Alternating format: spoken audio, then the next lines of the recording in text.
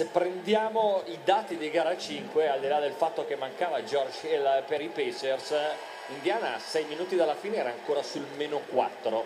Era sul meno 4 e ha rischiato diciamo, di stare dentro una partita persa solo di 10, avendo tirato 12 su 41 nel primo tempo, 36% alla fine, 19 palle perse e 14 errori ai tiri liberi. Bene, no? Beh, Intanto è entrato Minimelo, momento chiave di partita in serie. Persino Rihanna se l'è presa con lui dicendo fai canestro anziché gavazzare nei club dove va lei a New York. È entrato con la faccia di chi sente la responsabilità. porta sempre quel suo bip nero in tutti i club di New York eh, se pensasse un po' di più a giocare ai playoff. Sì, non solo, ma poi entra e, e chiede un TNT che a New York è and Tonic. Oh, sono liberi di fare quello che vogliono, però in questo periodo dell'anno in linea di massima stare a casa a vedere la replica di TJ Hooker sarebbe meglio, eh? un'opinione personale.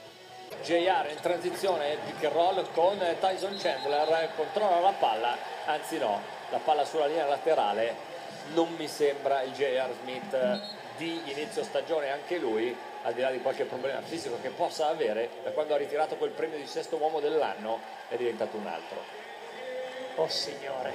Mi ricordo una frase di George Carla dopo una gara 4 dei playoff non esattamente straordinaria. Bello vedere l'essenza del gioco insultata davanti a me, JR. Non importa, non importa. Magari nel quarto quarto le giocate per vincere sono le sue. Eccolo qua. Eh, Perché non hai scritto già un libro sulla tua avventura in Cina? Il presidente della squadra che l'ha firmato lo ha chiamato nell'ufficio e gli ha detto JR, abbiamo bisogno di uno che faccia punti. Press, avete preso quello giusto. Clemons, ex assistente di Jackson, che allenava in Cina, diceva questo entrava fare 50 tutte le sere, ha fatto 37 di media, ma ha ritenuto inopportuno allenarsi tra un 37 e l'altro i cinesi hanno cominciato a fare i dispetti. Gli cambiavano una macchina a settimana di lusso, ma non gli davano l'autista che in una città cinese può tornarti utile. E Ger è andato via di testa e detto non leggo una mazza qua nell'insegnazione stradale, mandatemi l'autista. Tu allenati e vedrai autista.